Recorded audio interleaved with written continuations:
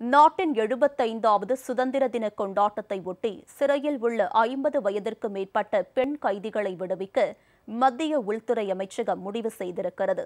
நாட்டின் எழுபத்தைந்தாவது சுதந்திர தின கொண்டாட்டத்தின் ஒரு பகுதியாக தகுதி வாய்ந்த கைதிகளை விடுவிக்க நடவடிக்கை எடுக்கும்படி அனைத்து மாநில அரசுகளுக்கும் மத்திய உள்துறை அமைச்சகம் உத்தரவிட்டுள்ளது. சிறையில் உள்ள ஐம்பது வயதிற்கு மேற்பட்ட பெண்கள் திருநங்கைகள் தண்டனை காலத்தை நிறைவு செய்தும் சிறையில் அடைக்கப்பட்டுள்ளவர்கள் அறுபது வயதிற்கு மேற்பட்ட ஆண் கைதிகள் பாதிக்கும் மேற்பட்ட தண்டனை காலத்தை சிறையில் கடித்த மாற்றுத்திறனாளிகள் அபராத தொகை செலுத்த முடியாமல் சிறையில் இருப்பவர்கள் ஆகியோரை கணக்கெடுக்க உத்தரவிடப்பட்டுள்ளது.